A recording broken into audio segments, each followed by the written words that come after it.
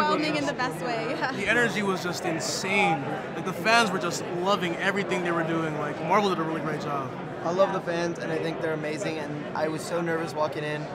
As soon as I uh, I, I walked up, all that went away because the fans Yeah. were just so amazing.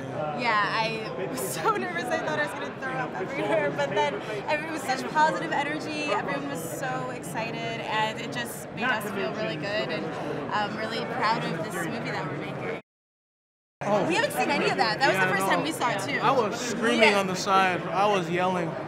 I couldn't help it. Oh, oh no. Whoa. Hey guys. Oh no. Here Here's we the go. gag. We're just missing We're Zendaya. Yeah, Where's she's- Zendaya? It's like every other interview we do together, she's not here. Yeah.